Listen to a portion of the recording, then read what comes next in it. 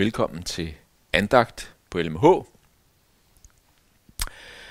Jeg vil gerne øh, tage en sætning frem her til aftenandagt, som taler ind i den situation, hvor at, øh, at vi selv har mistet fornemmelsen for noget vigtigt om Gud, og så faktisk øh, får hjælp fra anden side til at, at høre, hvad det drejer sig om. Og øh, det kan jo være mange situationer, hvor vi, hvor vi ligesom på en eller anden måde øh, mister det øh, tanken om Gud, at han er virkelig, at han, at han øh, interesserer sig for os, at han er til stede i vores liv. Øhm, det kan være fordi, at vi bliver ramt af, af, af noget alvorligt, sygdom, øh, død, øh, arbejdsløshed, isolation, ensomhed, hvad ved jeg. Øhm, og, så, og så kan der komme nogen og hjælpe os til ligesom at finde tilbage på sporet i forhold til Gud. Og nogle gange kan den hjælp komme fra helt uventet side. Jeg vil gerne øh, her i, i aften komme med et, et eksempel fra det gamle testamente, hvor der var nogen, der fik hjælp til, til at, at huske, hvem Gud er fra uventet side. Som du måske husker, så var israelitterne jo slaver i Ægypten og kom ud, og de vandrede 40 år i ørkenen, og så skulle de ind og indtage Kanaans land, det forjættede land. Og øh, Moses, øh, den store leder, han er død. Og Josva, øh, hans sekundant, han har taget over og er blevet den nye leder for folket. Og inden de så skal over Jordanfloden og ind i det forjættede land, så sender øh, Josva to øh, spejder eller spioner ind i landet for ligesom at undersøge forholdene. Og de kommer til byen Jericho, øh, som ligger dernede øh, lige på den anden side af Jordanfloden. Og der, øh, de kommer ind i byen, der er bymur omkring, der er en port, de skal ind igennem ved byporten, og, øh, og derinde, der opsøger de så en prostitueret, en luder. der står ikke øh, noget om, om de har et forhold til hende, eller ikke har et forhold til hende sådan seksuelt. Øh, men de opsøger hende, og hun tager godt imod dem.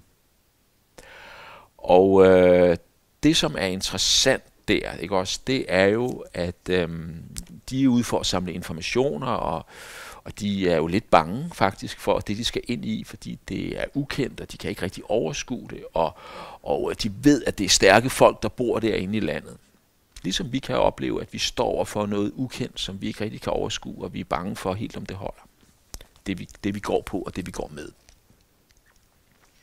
Så siger den her øhm, øh, prostituerede til dem, og hun, hun hører jo så til de folk, de skal ind og indtage, det land, de skal indtage.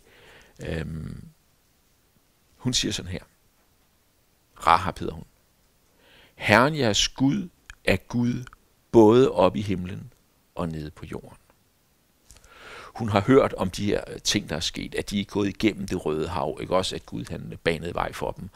Hun har hørt, at de har øh, indtaget de to lande, som lå på den anden side af Jordanfloden, med kongerne Sihon og Og.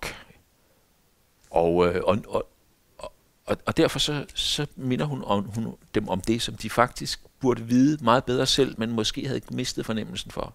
Hun siger til dem, Herren jeres Gud er Gud både op i himlen og nede på jorden.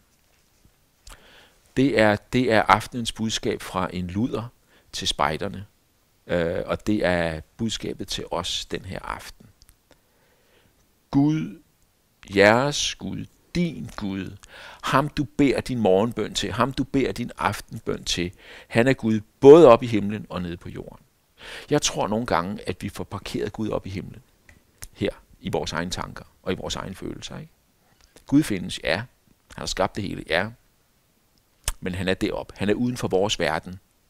Han er langt væk. Men det er han ikke. Det er han ikke. Han er Gud oppe i himlen. Ja, det er rigtigt. Han er Gud i det, på, på metaplanet, ikke også? Men han er også Gud nede på jorden. Nede på jorden. Og det er her, hvor vi sidder. Jeg sidder her. Han er Gud hernede, hvor den her stol, jeg sidder i, står. I et hus i Hillerød. Ikke? Gud er Gud på jorden. hvor vi lever vores liv. Hvor vi står op om morgenen, og hvor vi øh, går igennem vores hverdag øh, med mere eller mindre spændende ting, mere eller mindre vellykket. Hvor vi lever i vores relationer til andre mennesker. Hvor vi udfordres, og hvor vi bekræftes i vores tro. Og i vores liv som mennesker.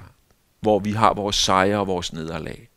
Her på jorden, der er Gud Gud. Og øh,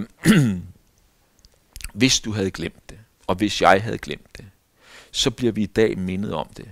Af en, som i virkeligheden stod på sidelinjen, som bare havde hørt om det, men som kunne se det, og som så minder os om det. At den Gud, som du tror på, er ikke kun Gud i himlen, men også på jorden.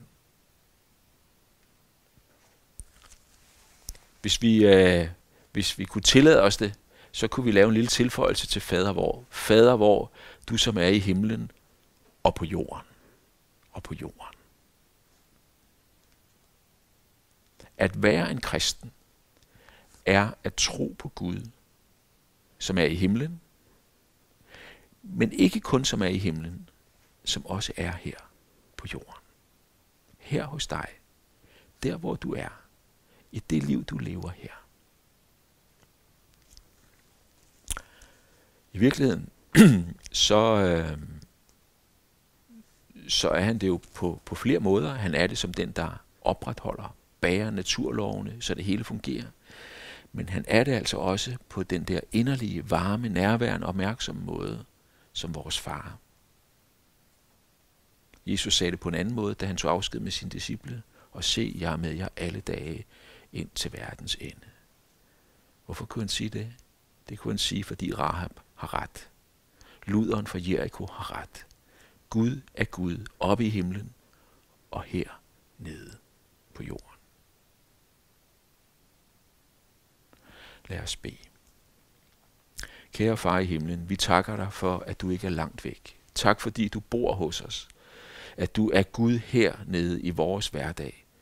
Og i de ting og de forhold og de relationer, som vores liv er fyldt af. Mind os om det, når vi glemmer det. Og tak fordi du nogle gange bruger nogle mennesker, som vi slet ikke havde regnet med, til at åbne vores øjne for dig og for din virkelighed og din eksistens. Så takker vi dig for øh, den her dag, som du har givet til os. Og øh, vi takker dig for din godhed og din trofasthed. Vi takker dig for din kærlighed og for din frelse. Vi takker dig for din søn Jesus Kristus, at han er vores bror og vores ven og vores frelser. Og vi beder nu for vores verden. Vi beder dig om, at øh, pandemien snart må klinge af. Vi beder særligt for vores eget land, men også for andre lande. Og vi beder for alle dem, som er ramt af sygdom, dem, som har mistet, og dem, som står over for døden i dag. Hjælp dem til at række ud mod dig og komme dem selv i møde. Og vi beder om, at vi snart må få øh, mere trygge og gode hverdagsforhold at leve under. Vi beder særligt for LMH-eleverne.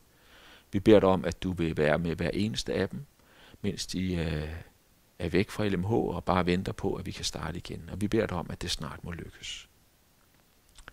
Vi overgiver os selv og dem, som betyder meget for os og vores verden i dine hænder. I Jesu navn. Amen. Tak for nu. Uh, have en fortsat god aften, og vel mødt til at lytte til vores undervisning i morgen formiddag kl. 11, og til andagt igen i morgen aften kl. 8. Fortsat god aften.